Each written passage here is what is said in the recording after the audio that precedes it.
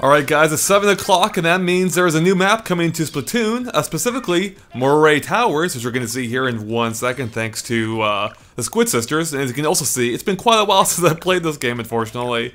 Uh, E3 totally screwed us up.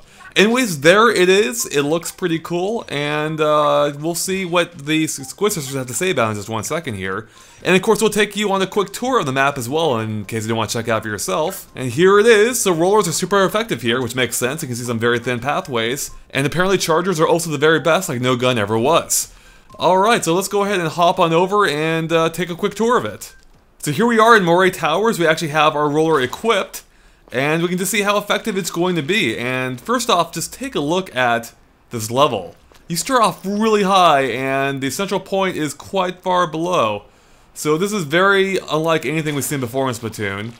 Um, lots of thin pathways here, which you can see. So I'm already liking I'm already liking how this level is very different from everything else. Um, it should be very intense for tower control, I imagine. And you can already see too, there's multiple ways of getting down. You can either uh, you can take the main pathway or take these you know drop-offs. Um, or you can go up that way too. There's a handy dandy ramp right there. Should make it pretty easy to climb up.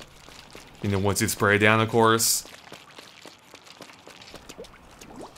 And here we go. This is the central splat zone area. Looks like there is only... Oh, there are in fact two of them, I should clarify. And here is a central area, the lowest area in the map. And for fun, let's go and try climbing our way up to the opponent's base, because why not?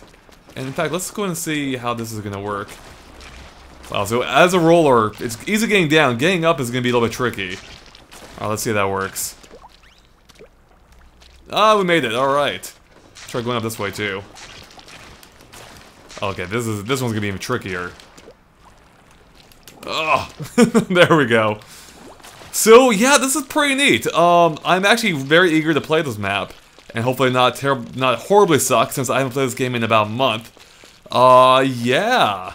This is really cool. I'm really liking what I'm seeing. It should be a lot of fun. And of course, you can go check out for yourself now on Splatoon. It is free. It's available now.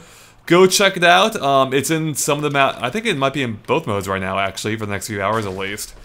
And yeah, there you have it, guys. Thanks for watching. Of course, keep an eye on GameXplain.com for more Splatoon and other things gaming as well, including a Star Fox Zero discussion coming up tomorrow morning. Alright, thanks for watching, guys. Bye.